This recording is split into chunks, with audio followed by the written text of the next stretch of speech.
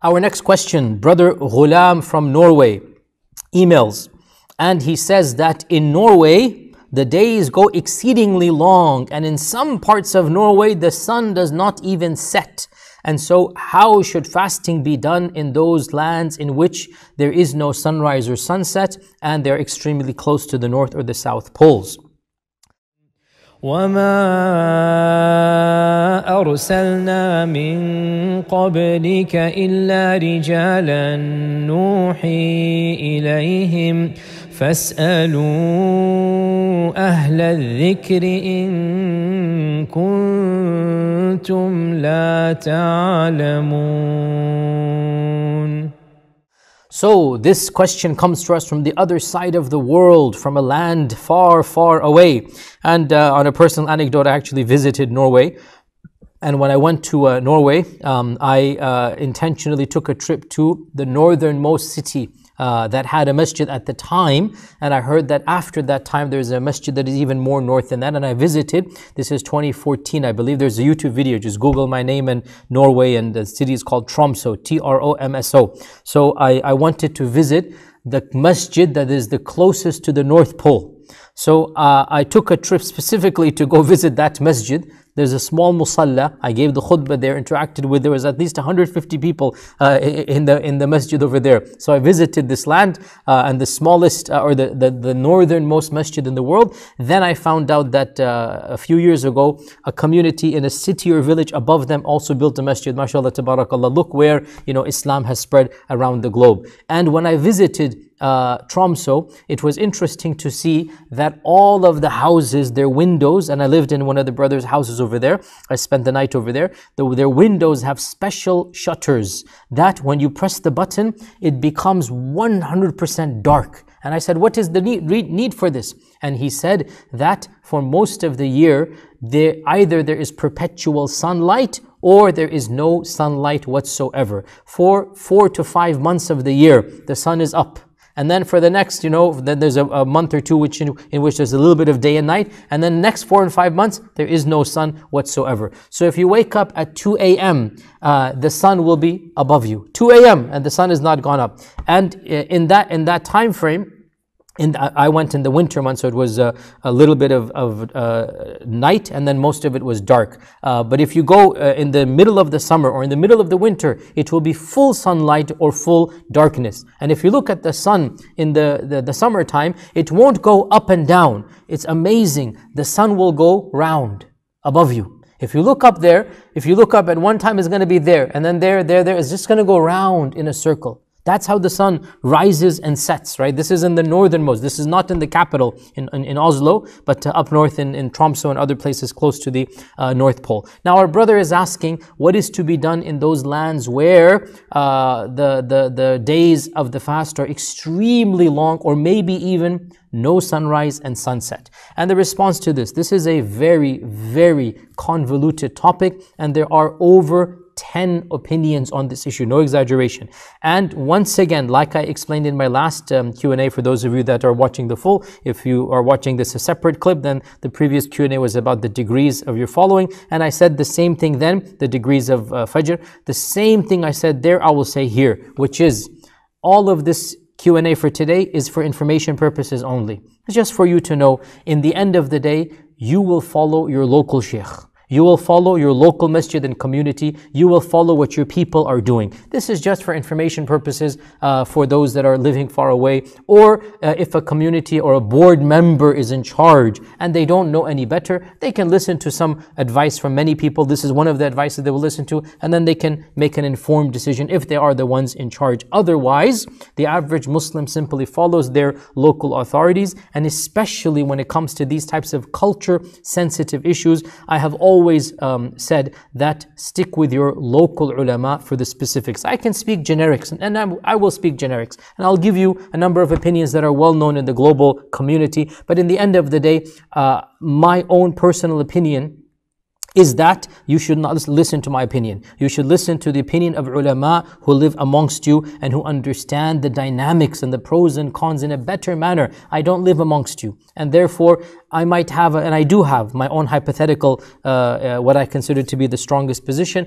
but I hesitate to tell you to do it because I don't live in your lands. And I want you to follow trained ulama, reputable ulama who live in your lands. If you have an alim in your town or village up north in, in um, uh, Norway, follow. If not, the local communities closest to you, or in Oslo or other places, there are plenty of uh, scholars in Oslo. I've met a number of them. So you should go to those ulama and find out from them because they understand the situation far better than I do because they live amongst you. So again, the answer today is for educational purposes, for information purposes purposes. It's not, I'm not telling you specifically which one you should follow. That is something that uh, it is culturally uh, uh, sensitive and there are perhaps dynamics I'm not fully aware of and there are perhaps issues that I'm not cognizant of because I'm speaking to you from a, another land. Nonetheless, for information purposes, it's interesting for the rest of us to know this is not a new issue and in fact, uh, even in the Ottoman times, there was a lot of back and forth because the Ottomans they conquered what they called the Balkan, the Balkan lands,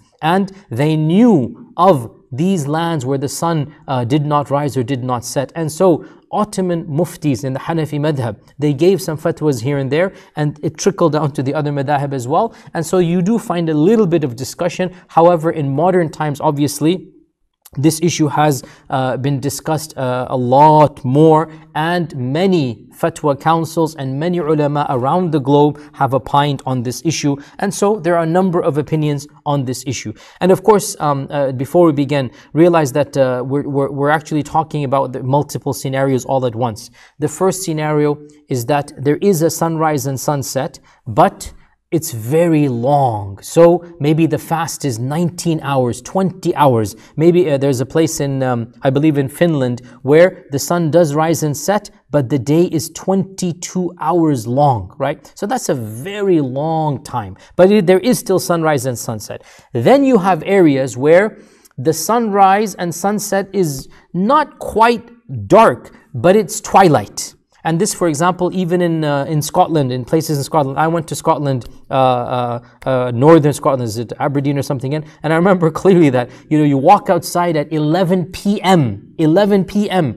and it's like what we think like 6 p.m. over here, twilight. It's not dark. You think like it's Maghrib or a little bit after Maghrib, right? Well, after Maghrib, but it's not going to go full dark over there. So that's far north. So it's the the the sunrise and sunset there is sunrise and sunset, but there's no darkness. And that's because you're in that twilight area, which is the civil or the nautical twilight. You are not in the astronomical. You don't get beyond that.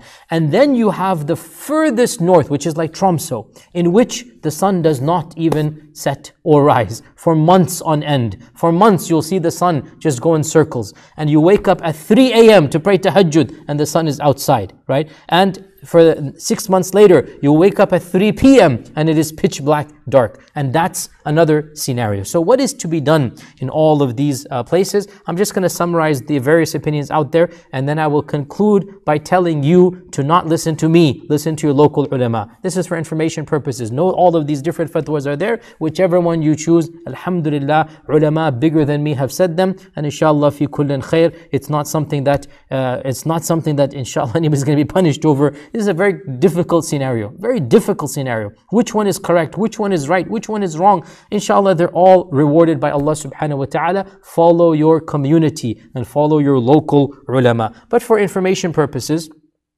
what, uh, what are some of the opinions out there? So the majority opinion in lands where there is actual sunrise and sunset is that there is simply no other alternative. You must fast according to the sunrise and sunset. And this is the position of the majority of councils and ulama. And they say even if it goes to 20, 21, 22 hours, then that is the fast. However, if the fast is overwhelming to people, if they have difficult laborious jobs, if a sister is pregnant, if, if, if, then obviously uh, the leeway for them is going to be much lower. The burden is much lower than the leeway for us, right? The burden to not fast. So if your land has a 20 hour long fast, and you're expected to work in the fields, that's your job, or your difficult situation, you're a uh, pregnant lady, for example. But if you were maybe in America and it's 13 hours fast, you could do it. But that's like a 20 hour fast, you cannot do that. So we say the bar has been lowered. And if you're not able to do it, 20 hour fast, then you make up in the month that is easier for you. After two, three months, four months, you make it up for the days that you cannot fast. But technically, if you're able to fast, you fast. And the default for most average men and women, it is possible to fast 18, 19 hours. And this is actually done uh, even as a fad and as a technique for losing weight called intermittent fasting, where people will maybe eat one meal a day. And it is fine. They will live like this. It's not, a, it is something that is not harmful to the body once the body becomes accustomed to for many people, but not for all. So that is the majority position. However, even in this, there are dissenting uh, voices. Uh, and the Majma' al-Fiqh al-Islami, which is one of the bodies that I look up to the most, they actually also give the exact same fatwa, that as long as there is actual sunrise and sunset, well then, we're going to have to go with sunrise and sunset. And even if it's long, that will be the fast. However, what is to be done if it is more north than sunrise and sunset, then you don't actually have sunrise and sunset. This is where we have a number of opinions. One of the scholars of the last generation, Sheikh Mustafa Az-Zarqa, he said that any time the fast is unreasonably long, and he didn't define unreasonably long, but he said even when there's sunrise and sunset, if it's 20 hours or something, that in that case, he said, the people can follow Mecca. They can follow Mecca. Or they can follow the closest Muslim land where the fasts are reasonable. And the uh, Majma' al-Fiqh al-Islami, they said that if there is no sunrise and sunset, then they should follow the closest land where there are Muslims residing, where there is sunrise and sunset, and that will become their timing. So, if you are in North Norway and there's no sunrise and sunset, you will look to South Norway, Oslo, for example. Oslo generally has sunrise and sunset. So, you will look to Oslo, and the timings of Oslo, or I'm just giving an example, the timings of the city where there are Muslims and there is sunrise and sunset will become your timings uh, north to that. And this is the fatwa of the Majma' al-Fiqh al-Islami and it is the one that I personally am uh, sympathetic to. But again, don't listen to me, listen to your local um, ulama. Uh, Dr. Muhammad Hamidullah, and by the way, this fatwa is also the fatwa of the Dar al-Ifta of Saudi Arabia, also my teacher Sheikh bin Uthaymeen, and also Sheikh bin Baz and others, they also give the same fatwa that the people living in those lands where there is no sunrise and sunset should look to the closest lands south of them, the closest cities south of them, where there are Muslims residing and where fasting is taking place, and there is sunrise and sunset, and take the timings from them. Uh, another scholar, Dr. Muhammad Hamidullah, a great alim of hadith and a person who authored many, many books and discovered many treatises, Dr. Muhammad Hamidullah, he had an interesting fatwa that in those lands, far north or whatnot, we should simply take a minimum, a maximum, and do a cutoff beyond that. And for reasons beyond the scope of my lecture today, he said 8 to 16. So, 8 hours is the minimum fast. Therefore, because you see, guys, we're talking about the long days, do realize in uh, 15, 20 years when Ramadan comes in December, right? Literally, no exaggeration, in some of these lands, the fast is going to be two hours. Okay, so you have a full suhoor. By the time it comes to iftar, you're like, yeah, it's all right, I'm full, I don't need to eat, you know, because that's you're gonna have a full suhoor, right? And then you're not gonna eat in two hours.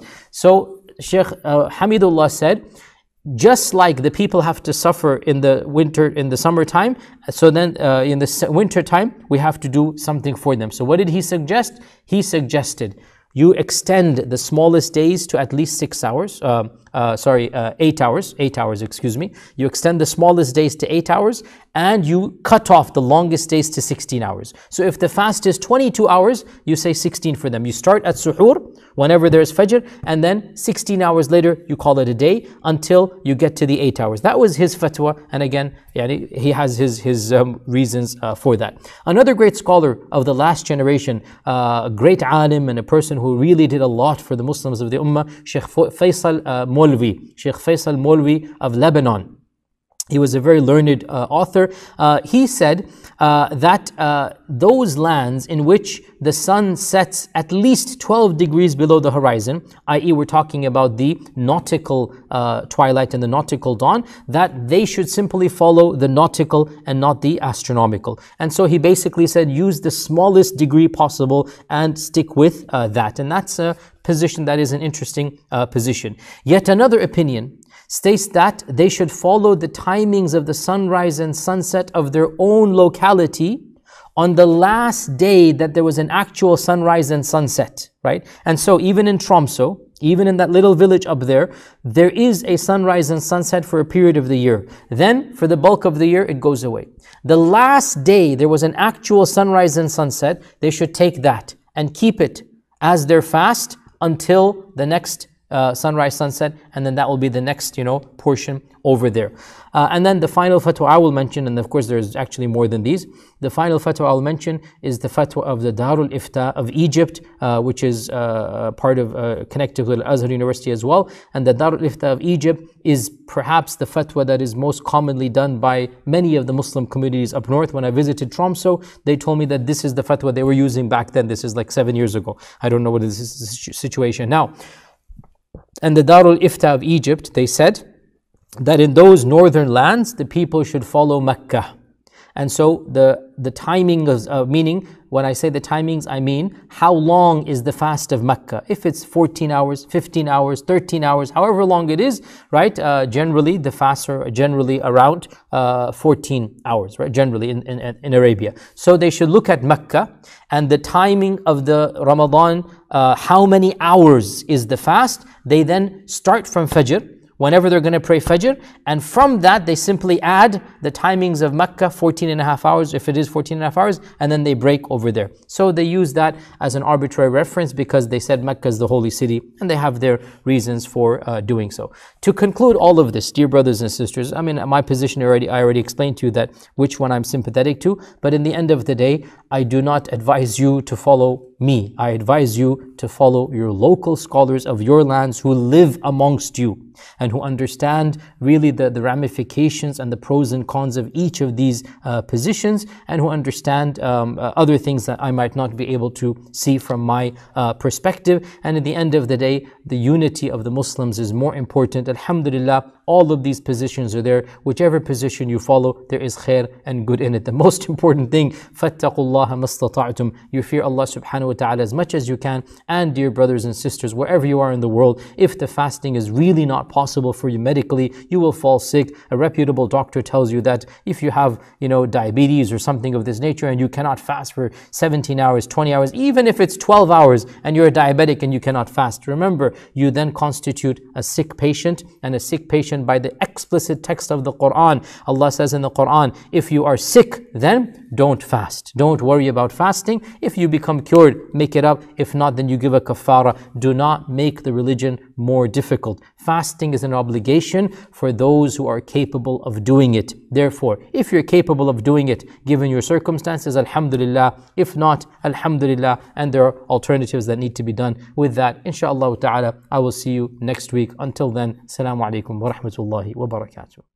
يا من أجبت دعاء نوح فانتصر وحملته في فلكك المشحون يا من أحال النار حول خليله روحا وريحانا بقولك كوني